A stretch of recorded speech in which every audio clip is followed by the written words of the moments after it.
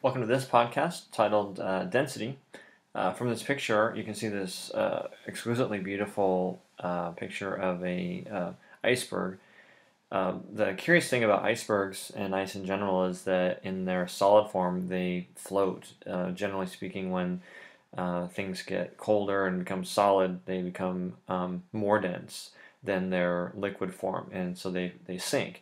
Uh, obviously, this has huge uh, consequences on uh, life on Earth, uh, but the question of why does water in its uh, solid form, that is ice, float, uh, is, a, is a huge puzzle. It has to do with the way that the um, water molecules compact to each other. so density is often considered a measure of its compactness. The title of this podcast is called Density. You can write the main ideas and the topics in the left column, the Q column, uh, your more extensive details um, in the note taking area, and then when you're done, uh, your summary should just be uh, from your own point of view. Uh, what are the main ideas and what are the takeaways? Um, if you have any questions, uh, the summary would also be a good place to put that as well. Macroscopic refers to the um, properties or observations that can be made without um, any tools, for example, the unaided eye. So for example, no microscopes. Uh, physical properties are the characteristics of a substance that does not involve a chemical change. Uh, density, color, and hardness are examples. Um, density is the relationship of mass to volume. Uh, mass has to do with the amount of matter that's uh, contained in something. The volume is the amount of space that it takes up. Um, extensive versus intensive properties are different sort of lenses through which to view um, matter, for example, elements on the periodic table. An extensive property depends on the amount of material being tested. So mass, you can increase the mass of a chunk of something, for example, lead. Um, you can make a, a smaller lead block, um, and so those are different values. Uh, volume can be changed along kind of a, a continuum or a spectrum. Um, intensive properties are basically unchangeable, so they're unique or inherent to the to the substance. So density is the same in a large block of lead as it is in a small block of lead. So it has to do with the way that the atoms are arranged. So the microscopic, in this case, affects the macroscopic, which would be like density. And then buoyancy is um, whether or not something will float, and it's the result of fluid pressure, um, and it's the um, product of displacing of water. So if you can push aside more water by volume than what's in your in your body, then you will float. So physical properties, um, they include density, they can include other things, but density in this case is the relationship of mass to volume. Uh, you can see in this uh, screenshot from PhET, Colorado, there is uh, a mass of 2.15 kilograms in wood to its volume of 5.36 liters, and then doing that, uh, that division, that produces the density of 0.4 kilograms per liter. We can see um, in styrofoam a similar calculation, mass to volume gives us a 0.15 kilograms per liter value. This is a pretty cool website called phet.colorado.edu, and it's a simulator to investigate the properties of density. As you can see on the, the screen here, we have a block of wood, and you can see that the wood is um, measured in terms of mass at uh, 2 kilograms, and then its volume is set at 5 liters. And you'll see that there's different materials um, that we can choose from styrofoam, wood, ice, etc. So if we were to change up this material, you'll see that styrofoam set at 5 liters it weighs less, which I think makes sense, and it's the relationship between mass and volume that gives us this different density of 0.15 kilograms per liter. We can even go to something a little bit heavier uh, in the form of brick, and you'll see that the uh, density is far greater at 2 kilograms per liter because it weighs more. Again, it has the same volume.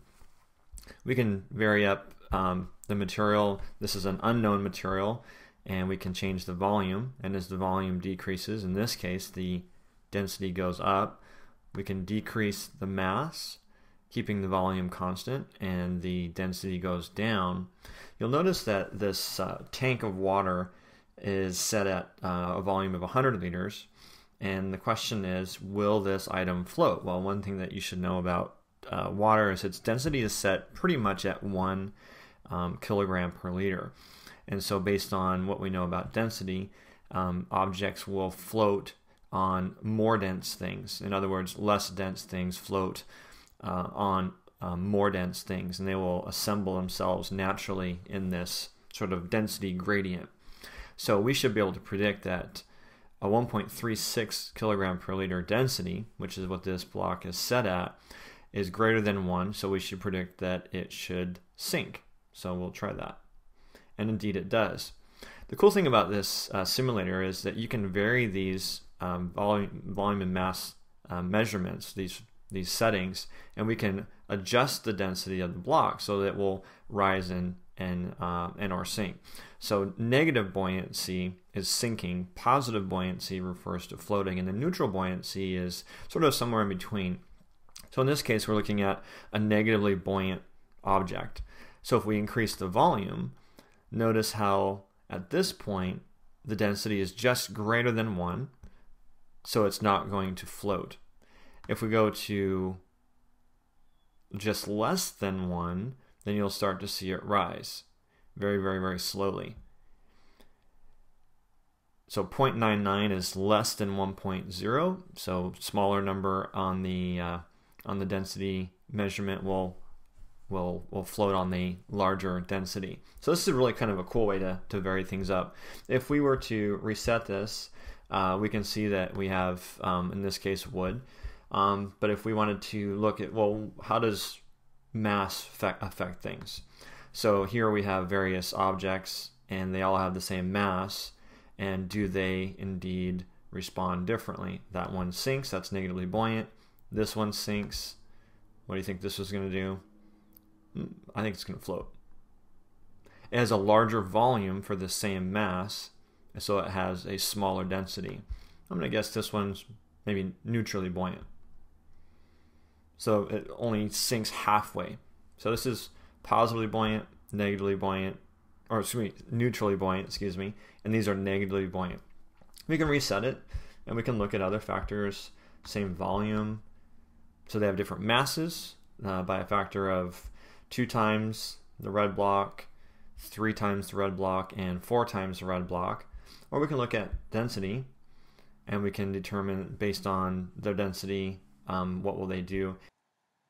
Uh, density layering is a natural phenomenon. Um, if you were to mix uh, substances with different densities, uh, they will settle out as we see in this picture. There's a natural arrangement according to this uh, uh, series of density. Uh, the most dense would be the blue solution at the bottom, and the least dense would be the clear solution at the top. In nature, there's different effects of this density layering. in this picture, you can see the ocean is divided into generally two regions. There's warm water, which is the light blue region on top. Deep cold water is the region below that. Uh, due to temperature and salinity, the warm water is less dense than the deep cold water, and so there it will float on top. Uh, there's this thermocline layer, which is the basically the dividing line between those two bodies of water, and it does not allow for any mixing of the two um, masses of water. This has um, huge implications for marine organisms and uh, all the way going down to phytoplankton and um, how nutrients are brought up from the, the bottom of the ocean. From a medical point of view, um, blood can be separated into its various parts using something called a centrifuge, which is basically a, a device that spins at high rate um, test tubes containing various things. And based on that um, high rate of spin, uh, the forces that are applied will separate things according to their density. So uh, heavy things, dense things will go to the bottom, light things will stay near the top. From a hemophiliac point of view, the plasma is really what um, is um, helpful for them. So hemophilia is a disorder. It's a blood clotting disorder. So if you get a cut or a bruise or a nick, most people, non-hemophiliacs, can actually um, stop the wound. There are these clotting factors in their blood that are proteins that help to kind of stop that that um, wound and then it'll turn into a scab. Uh, and so the plasma will help hemophiliacs uh, do that when on their own they can't. Buoyancy is the uh, effect of um, differing densities uh, of objects.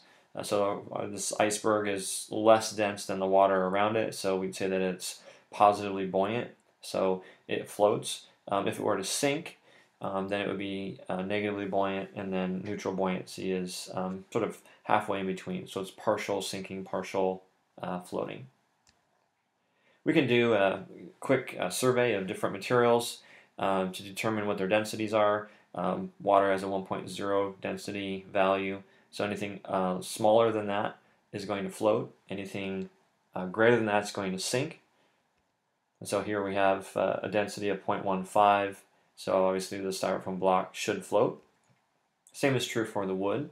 And even the ice, which is nearing 1.0, which is kind of that magic line for water, uh, it should still float.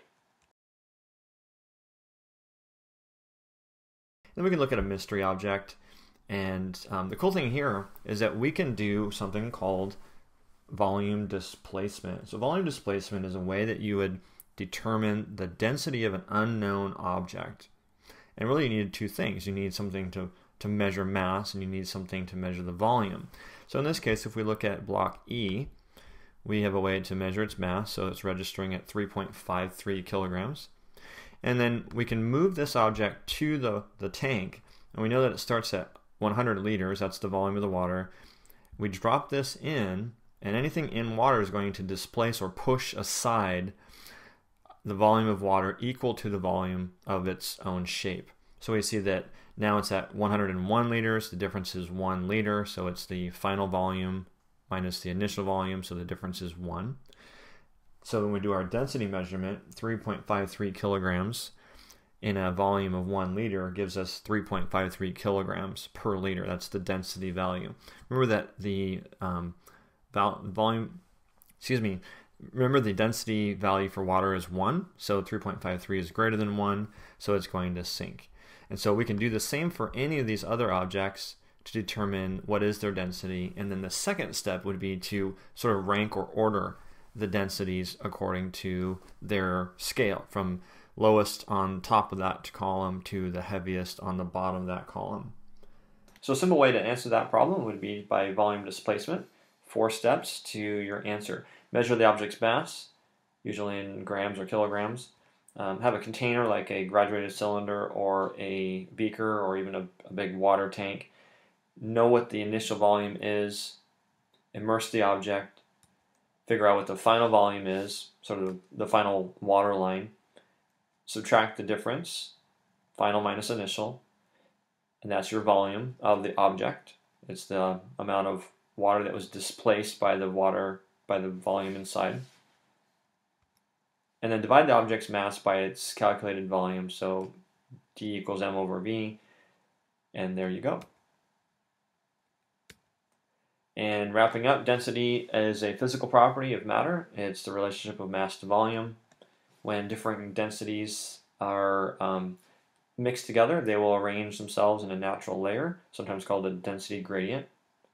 And then lastly, buoyancy is the um, floating of an object, and it's the result of two densities that are compared if the density of an object is uh, less than the density of the liquid in which it is uh, floating or immersed, then it will float.